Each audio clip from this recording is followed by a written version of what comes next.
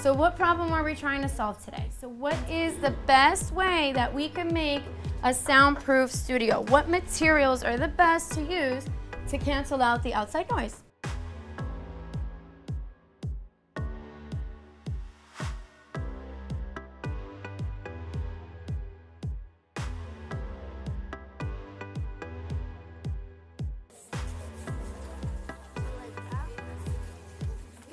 It was very interesting to see students analyze the data they collected when testing their studios with the decibel meter and make connections with the data and the designs of each studio.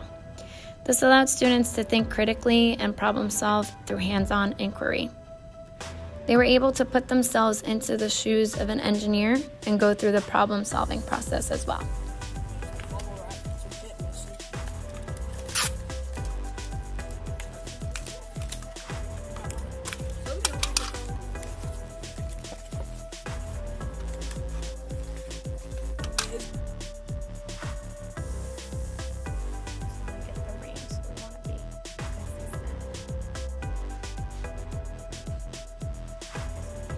It was really fun to work with my classmates to build this soundproof studio.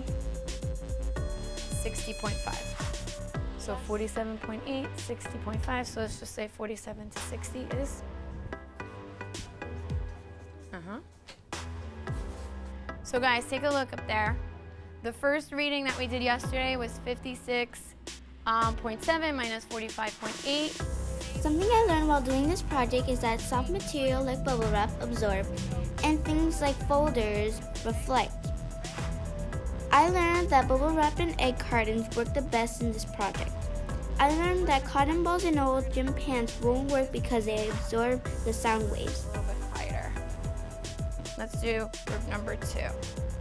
Not limiting the students to the types of materials they could use to build their soundproof studios really pushed them to think outside of the box and collaborate together to plan and design very creative and unique soundproof studios, each one very different from the next.